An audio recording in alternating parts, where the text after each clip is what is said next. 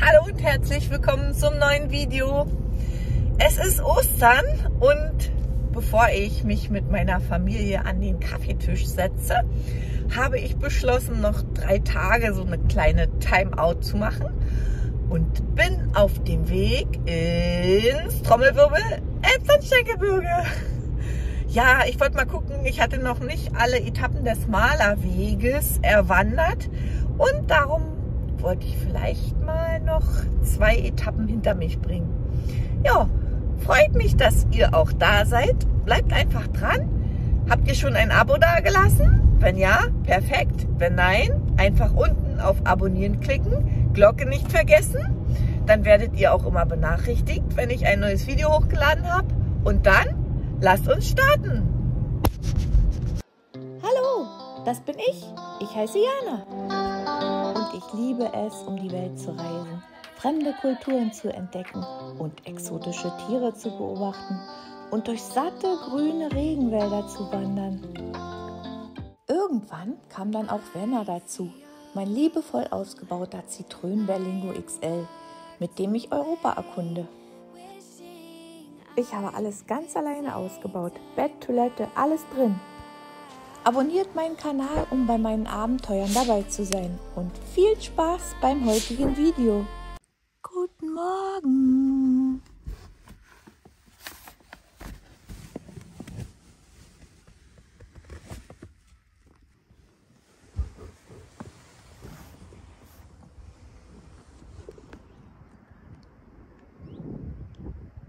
Habe ich nicht den schönsten aller Stellplätze erwischt? Und dann gleich noch mit Blick auf die Festung Königstein.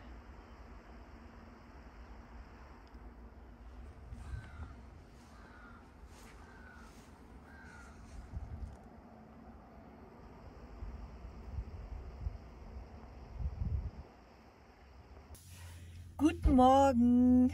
Was nützt der schönste Stellplatz, wenn es draußen noch frisch ist und ich will gemütlich frühstücken?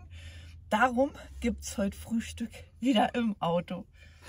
Jetzt mache ich mir erstmal einen leckeren Kaffee und ich war schon im Supermarkt und habe mir frische Brötchen geholt. Ach, ich liebe es.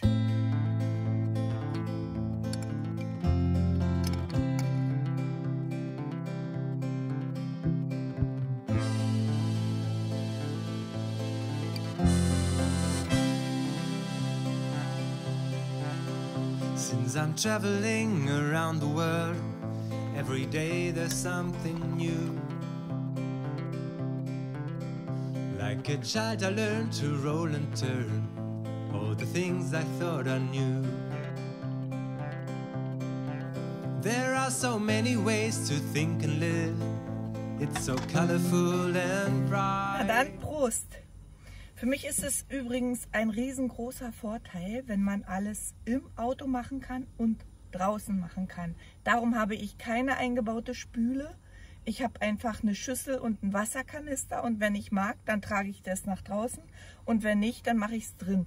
So kann ich alles variabel nutzen und bin ich angewiesen. Hätte ich mir eine Spüle hier eingebaut, müsste ich immer drin spülen und die Kanister immer entleeren und ausleeren und ja, ich finde es einfach mobil besser. Für mich ein riesengroßer Vorteil. So, jetzt bin ich fertig, für richtig fett gefrühstückt. Und jetzt will ich wahrscheinlich, also ich bin ja ein sehr spontaner Mensch, darum sage ich lieber wahrscheinlich, ähm, in die Edmundsklamm und zwar nach Tschechien und da fahre ich jetzt hin. Ich hoffe, ihr seid dabei. The prejudices inside my head, I lay them by my side.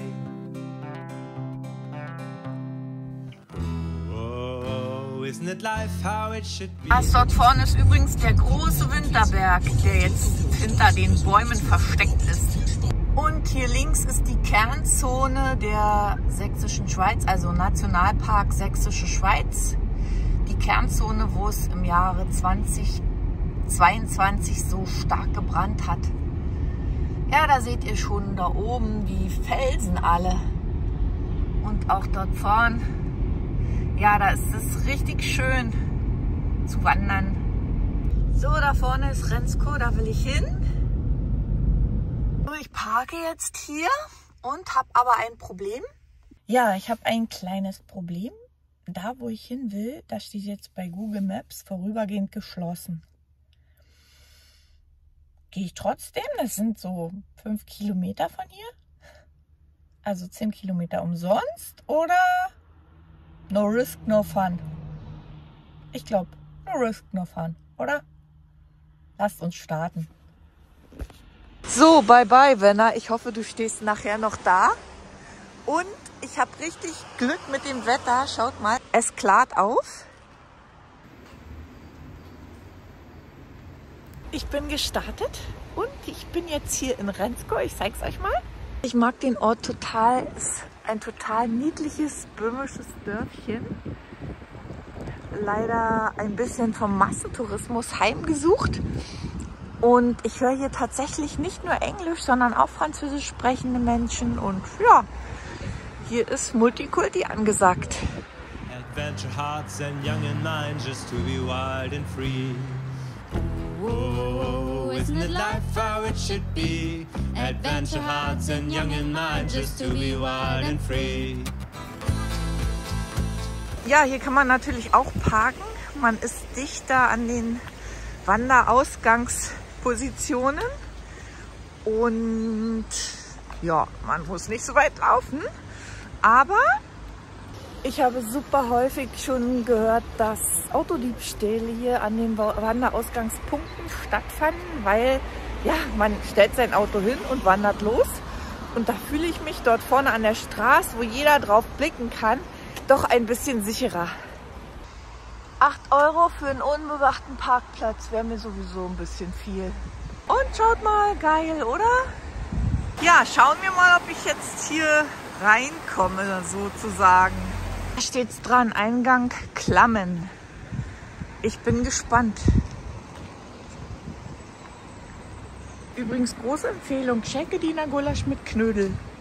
Einfach ein Must-Have hier.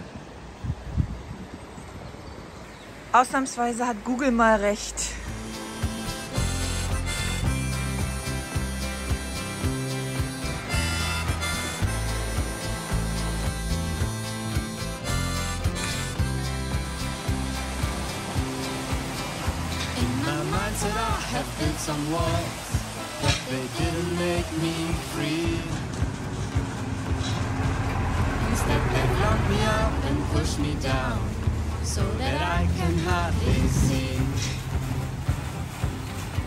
Eins weiß ich ganz sicher, irgendwo hier werde ich heute noch Schekediner Gulasch mit Knödel essen. Auf dem Rückweg, wenn ich es mir verdient habe. So oder ähnlich würde es aussehen in den Klammen. Now I've had to leave my comfort zone and these borders start to break. Und ja, man kann hier auch parken. Dann spart man sich die drei Kilometer Fußweg bis hierher. Aber da muss man früh genug kommen. Jetzt ist es 10 Uhr und hier ist alles voll. Hier wollte gerade jemand parken und die Parkwächter haben mit dem Kopf geschüttelt. Alles voll. Hier sieht es ein bisschen wild aus. Das liegt noch an dem Brand vom letzten Jahr. Aber auch gut für die Natur, wenn man nicht eingreift. Boah, schaut mal. Ich überlege tatsächlich nun doch, ob ich zum Prebischtor wandere, um die Auswirkungen des Brandes mir mal anzuschauen. Da oben war immer Wald. Da ist alles kahl. Alles abgebrannt. Vielleicht kann ich das von da oben sehen. Wow, alles in Schutt und Asche. Hier vorne auch.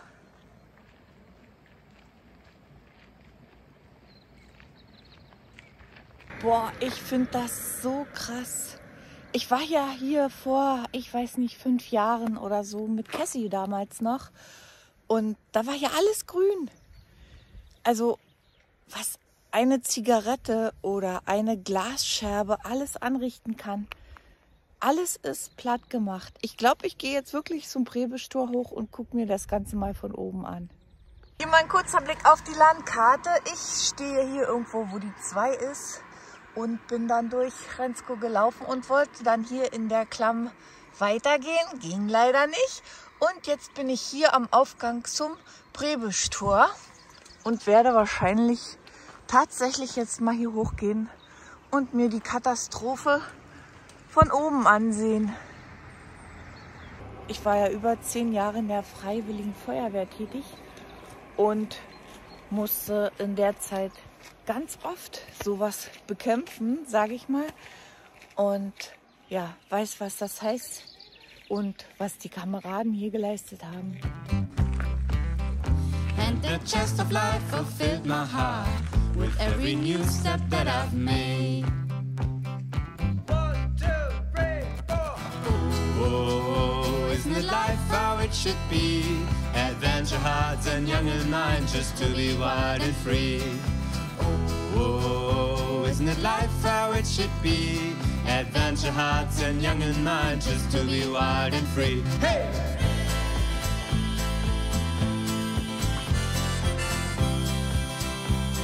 Aber wie ihr auch seht, an Feiertagen ist diese Tour nicht zu empfehlen. Hier ist die absolute Völkerwanderung.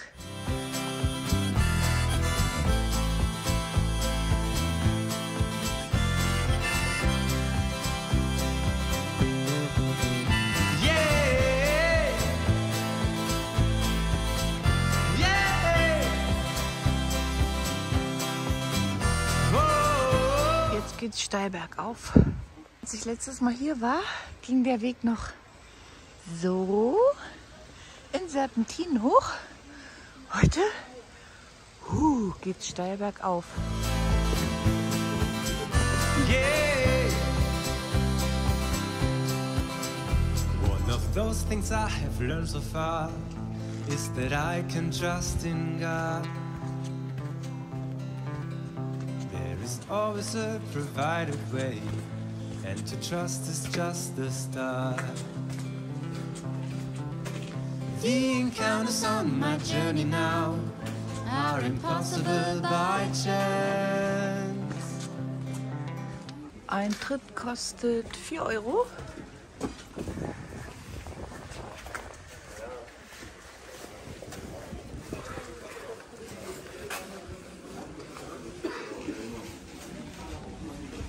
Also doch nicht 4 Euro, sondern 2,50 Euro. Und da seht ihr den Weg, den ich gegangen bin. Und ich stehe jetzt hier direkt drunter. Ui, da sieht man noch sehr, sehr viel mehr Schäden. Alles platt. Es ist tatsächlich heute sehr voll. Wir haben Ostern. Ich war schon mal Herrentag hier, da war es nicht ganz so voll. Jetzt geht es noch weiter nach oben.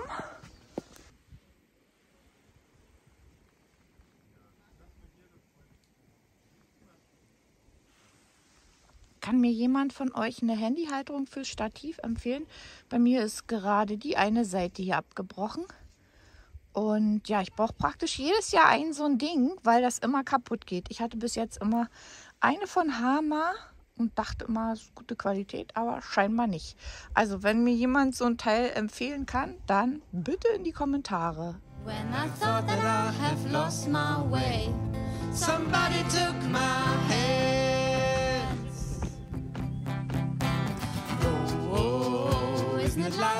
It should be? Adventure hearts and young in mind, just to be wild and free. Ich versuch's mal, dass mir keiner reinquatscht. Also die, dieses Tor ist das größte natürliche Sandsteintor Europas und auch das meistbesuchteste.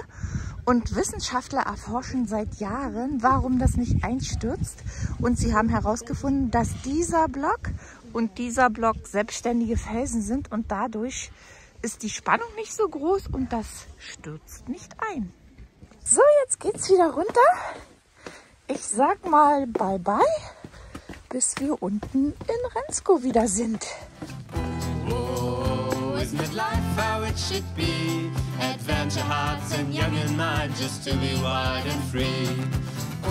Oh, isn't it life how it should be? Adventure hearts and young in mind, just to be wild and free. Da oben waren wir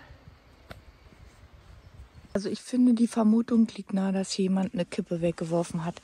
Es kann ja kein Zufall sein, dass hier direkt neben dem Wanderweg so ein verheerender Waldbrand ausbricht.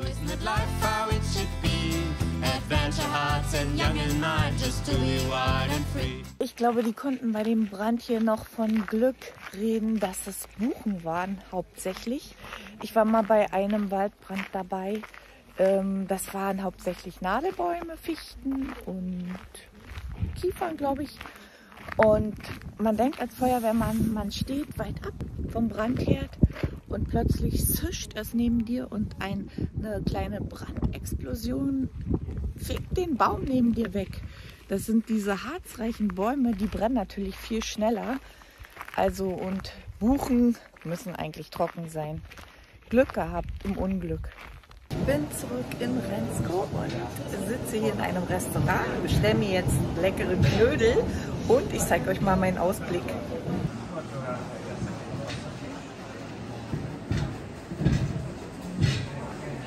Ich liebe das böhmische Essen.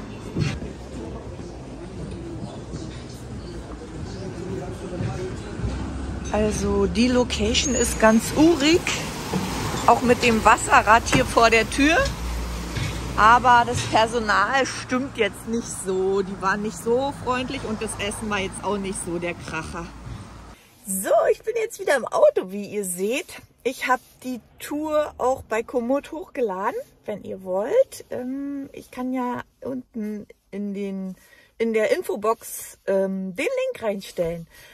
Und jetzt ähm, ist der Tag angebrochen. Ich wollte eigentlich noch einen Kaffee trinken, aber habe irgendwie nichts Passendes gefunden. Darum fahre ich jetzt weiter und zwar nach Hohenstein. Ich war noch nie in Hohenstein, also immer so dran vorbeigelaufen, aber noch nie so wirklich. Und dann dachte ich jetzt so mit zum halben Nachmittag, kann ich noch Hohenstein besichtigen. Also lasst uns losfahren.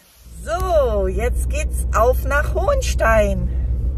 Ich finde, langsam könnten die sich hier auch mal eine bargeldlose Möglichkeit ähm, für ihre Parkscheinautomaten erfinden. Weil äh, anständig muss ich hier irgendwie Bargeld holen. Ich habe nie Bargeld dabei. Aber jetzt habe ich erstmal wieder was gefunden. Und ja, jetzt haue ich das hier in Wenner rein und dann geht's auf die Burg. Die muss da oben irgendwo sein. Sind gleich noch Tourenvorschläge. Hier kann man auch direkt zur Bastei wandern. In fünf Stunden Bullenstal, drei Stunden Weizdorf, vier Stunden Berngarten, Brand. Ja, einige Vorschläge, also auch ein guter Ausgangspunkt für diverse Touren. Ihr seht ein schönes kleines Örtchen und das sieht doch schon wie eine Burg aus, oder? Wirklich hübsch hier alles gemacht. Hier ist die Touristeninformation. Ja, richtig alte Häuser, alle schön rekonstruiert und da im Hintergrund, da sind die Felsen, aber auch echt verlassen. Ihr seht, ich bin mit meinen Videos richtig aktuell, denn es ist Ostern. Und das ist das Rathaus.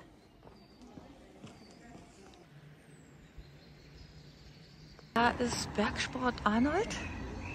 Den kenne ich zufälligerweise. Ein Kletterer.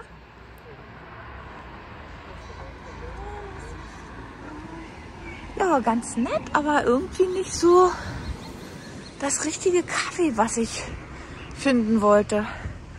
Morgen ist hier Ostermarkt. Da ist eine Imbissbude. Hm, na schauen wir mal. Mich gerade, warum ich hier nicht parke. Ich sehe gar, gar keinen Parkscheinautomaten hier. Und da unten muss ich Parkgebühren bezahlen. Ein Euro die Stunde. Hm, gute Frage, aber schön, oder? Ein schönes kleines Örtchen. Und jetzt geht's hier rein. Ja, tatsächlich war das zu meinen Jugendzeiten eine Jugendherberge. Und als ich immer klettern war, haben wir hier stellenweise übernachtet.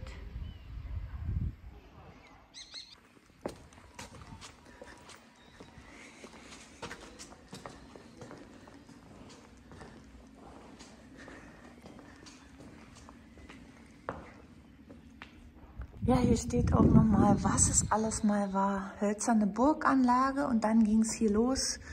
Jugendgefängnis, größte und schönste Jugendherberge Deutschlands, 1924. Und dann kommt die SA, dann Reichsjugendherberge, Kriegsgefangenenlager. Und dann kamen die Flüchtlinge hierher. Und 1949, die Burg wird wieder Jugendherberge. Und jetzt ist sie Naturfreundehaus.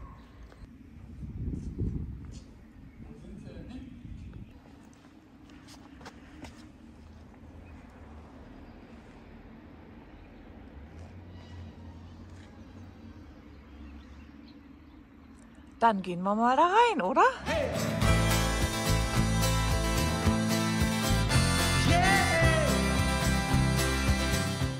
Das Turmverlies.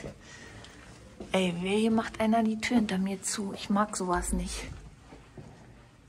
Eine Gedenkstätte.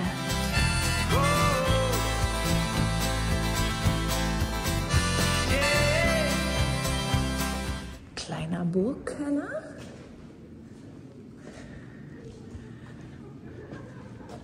Wow, ich muss sagen, ich habe bis jetzt noch keinen Eintritt bezahlt. Ach, hübsch. Das einzige, mein, Burgcafé, was ich gelesen habe, scheint outside zu sein. Das ist mir doch tatsächlich etwas zu kalt heute. Eieiei, hier muss man schwindelfrei sein. Pass auf. Das geht tief bergab.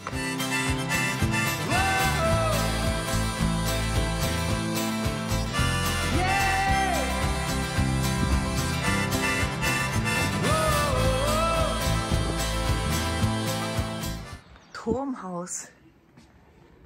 Aha je. Kommt ihr mit hoch?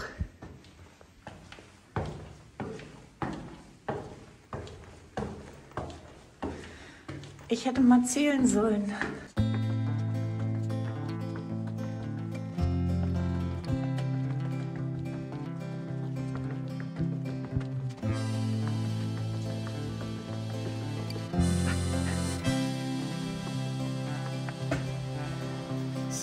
Traveling around the world, every day there's something new.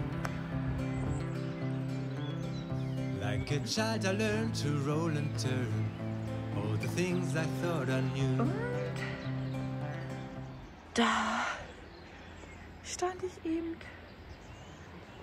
und habe die Aufnahme davor gemacht.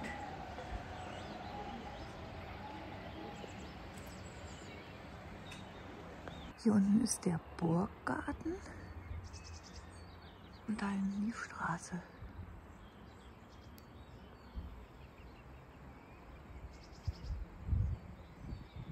So, mein Fazit zur Burg. Ja, kann man mal machen, wenn man in der Nähe ist. Unbedingt hierher fahren musst du nicht.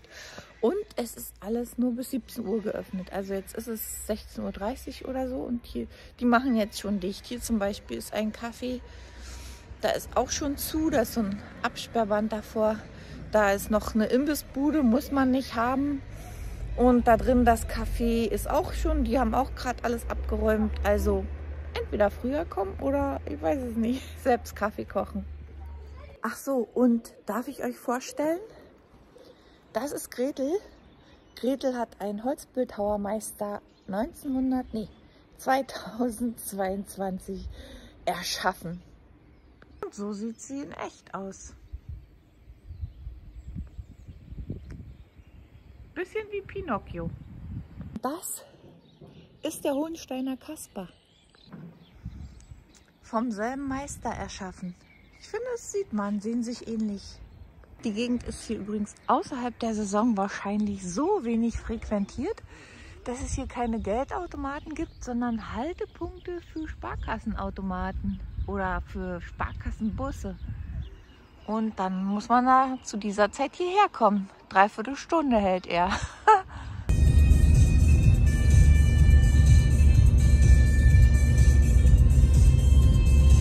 War ja nicht so viel los in Hohenstein. Aber gut, ich hoffe, es hat euch trotzdem gefallen. Haut rein! There are so many ways to think and live. It's so colorful and bright. The prejudices inside my head, I lay them by my side. Hat euch das Video gefallen? Dann gebt mir doch einen Daumen hoch. Und wollt ihr weitere Videos sehen? Den Kanal abonnieren, falls ihr es noch nicht gemacht habt. Und ganz wichtig, die Glocke aktivieren, dann werdet ihr immer benachrichtigt, wenn ein neues Video hochgeladen wird. Bye bye! Oh, isn't it life how it should be? Adventure hearts and young in mind just to be wild and free. Oh, isn't it life how it should be? Adventure hearts and young in mind just to be wild and free.